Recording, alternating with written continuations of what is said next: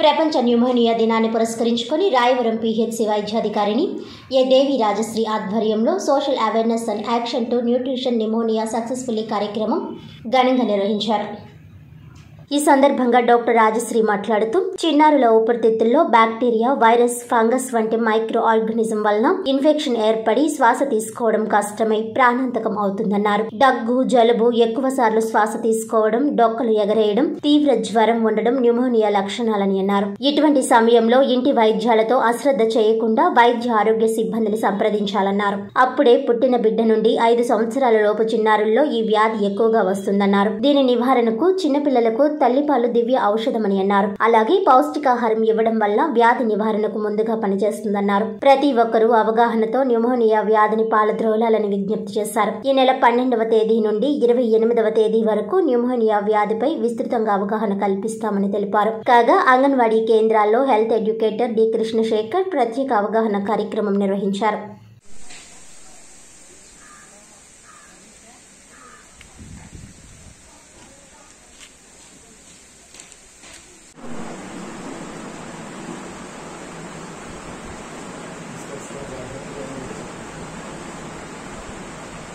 కాబట్టి ప్రతి ఒక్కరూ కూడా ఈ సంబంధించిన అందరికీ నమస్కారం అండి.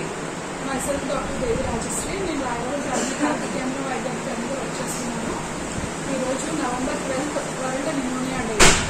కాబట్టి ఈ న్యూమోనియాని అరికట్టడానికి ఒక నడుము చుట్టి మనకి నవంబర్ పన్నెండు నుంచి ఫిబ్రవరి ఇరవై ఎనిమిది వరకు కూడా social awareness and action plan to neutralise pneumonia successfully SAANS అనే ప్రోగ్రామ్ చేపట్టడం జరుగుతుంది.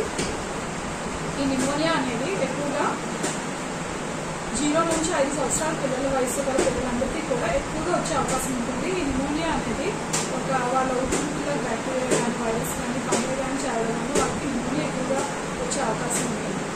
వీళ్ళకి కూడా మనం ఈ PCV vaccine pneumococcal conjugate vaccine వేయడం ద్వారా మనం ఇవ్వడం వల్ల అరికట్టవచ్చు. ఇంకా విటమిన్ ఏ ద్రవం ఇవ్వడం వల్ల అరికట్టవచ్చు.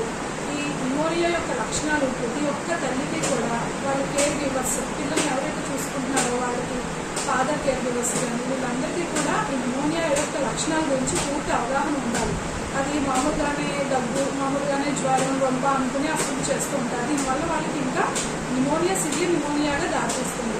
దానివల్ల వాళ్ళ పిల్లలు ప్రాణాలకి అది అత్యంత ప్రమాదకరం కాబట్టి ఈ నిమోనియా లక్షణాలు ఎలా ఉంటాయంటే ఏదైనా వాళ్ళకి దగ్గు రావడం కానీ బ్రీతింగ్ తీసుకోలేకపోవడం డిఫికల్టీ ఇన్ బ్రీతింగ్ ఆయాసపడడం ఎక్కువగా తాగడానికి తినడానికి ఎక్కువ అశ్రద్ధ చేయడం తీసుకోలేకపోవడం ఊపిరి తీసుకోవడం ఇబ్బంది డొక్కలు ఎగరవేయడం వాళ్ళలో ఒక విపరీతమైన నీరసం ఫిట్స్లా రావడం వాళ్ళు ఒకసారి స్పృహలో కూడా లేకపోవడం జరుగుతుంది పిల్లలు కాబట్టి ఈ అన్నింటిలో కూడా ఎటువంటి లక్షణాలు కనబడినా కూడా ఆ బస్సు శ్రద్ధ వహించి వెంటనే దగ్గరలో ఉన్న హాస్పిటల్ వెళ్ళి వాళ్ళు ఆ బిడ్డకి సరైన వైద్యం అందిస్తారు మనం ఆ బిడ్డని పూర్తిగా సంరక్షించడం జరుగుతుంది మన ఇండియాలో ప్రస్తుతం ఈ నిమోనియా వల్ల నెంబర్ ఆఫ్ ఎపిసోడ్స్ వచ్చి థర్టీ మిలియన్ వరకు మనకి ఉంది ఇందులో మనకి త్రీ మిలియన్ వరకు సివియర్ నిమోనియా కేసెస్ రికార్డ్ అవుతున్నాయి ఇందులో ఒక వెయ్యి మంది పిల్లల్లో ఐదుగురు వరకు చనిపోవడం జరుగుతుంది.